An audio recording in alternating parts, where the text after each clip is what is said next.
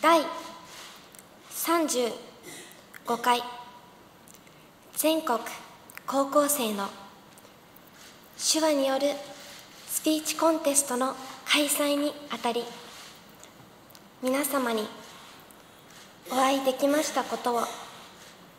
大変嬉しく思います。あらゆる生活環境で手話が広がることによって私たちの交流の幅が大きく広がります。新しい出会いや発見もあるでしょう。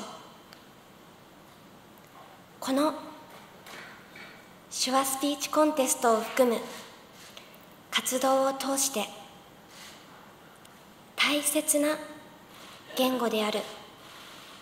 手話に対する理解が一層深まりますことを。そして手話に親しみを持つ人が